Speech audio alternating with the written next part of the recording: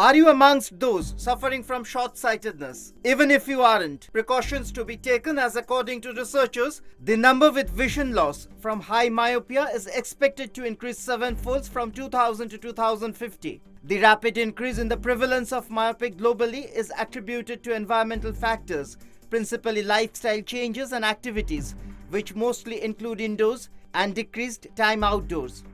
The study published in Journal Ophthalmology shows a major public health problem with researchers suggesting a comprehensive eye care service to keep a check on the rapid increase in high myopias along with the treatment to ensure the controlled progression of myopia. New Street Desk.